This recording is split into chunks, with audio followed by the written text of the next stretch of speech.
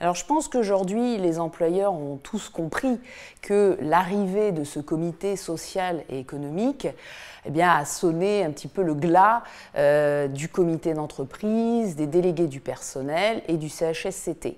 Je pense que ce qui est un petit peu plus délicat pour eux, c'est d'apprécier le moment exact où il va falloir le mettre en place, euh, ce CSE. Et là, en fait, il y a vraiment deux éléments clés à retenir. Euh, le premier élément, c'est que le CSE doit obligatoirement être mis en place dans toutes les entreprises qui ont au moins 11 salariés. Hein, parce que le, seuil qu'on connaît aussi des 50 salariés, lui, ne sert qu'à étendre le champ en fait des attributions de ce CSE.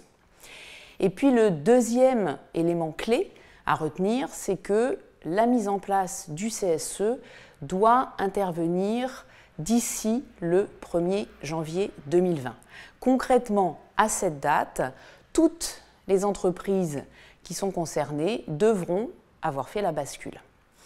Alors, au-delà de ces deux éléments clés, euh, il faut savoir que la donne n'est pas tout à fait la même selon que euh, les entreprises avaient ou non euh, des représentants du personnel au moment de la réforme. Hein.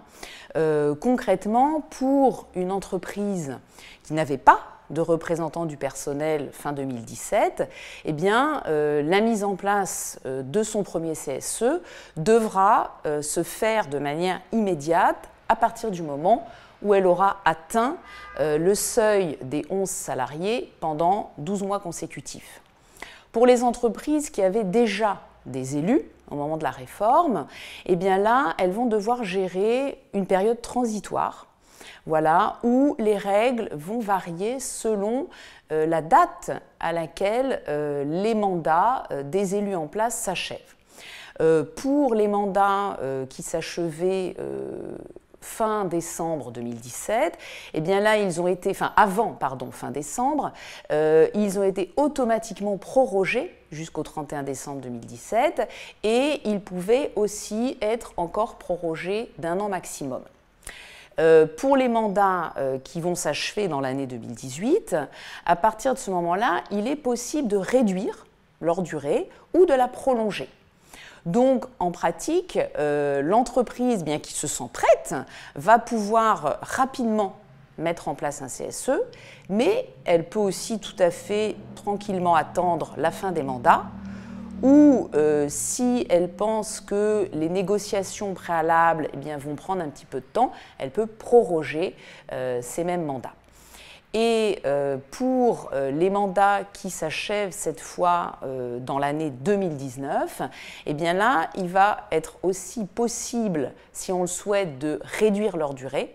Par contre, on ne pourra pas la proroger.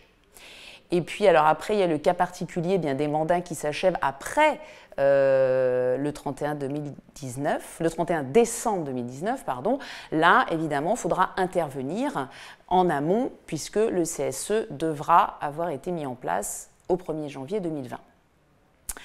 Alors il faut savoir que le temps passe très vite, hein, je crois qu'on le sait tous, et euh, du coup, eh bien, à partir du moment où vous aurez un petit peu compris euh, ces différentes échéances, où vous aurez fixé la date de mise en place du CSE dans votre entreprise, euh, je pense qu'il est vraiment essentiel de prévoir un rétro-planning. Hein.